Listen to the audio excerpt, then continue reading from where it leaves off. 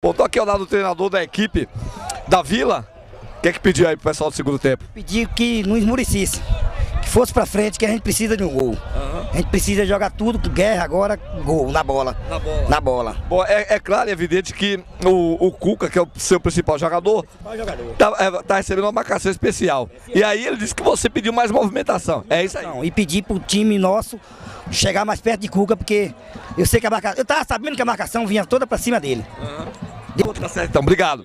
Então tá aí o treina, treinador da equipe, né? O treinador da equipe da, da Vila São Vicente, solicitando mais movimentação e principalmente o time chegar mais próximo a Cuca. Isso significa dizer o seguinte: ou o time encosta para ajudar o Cuca para sair da marcação, ou então realmente fica complicado. É de queira aqui na cobertura da Copa do Abacaxi.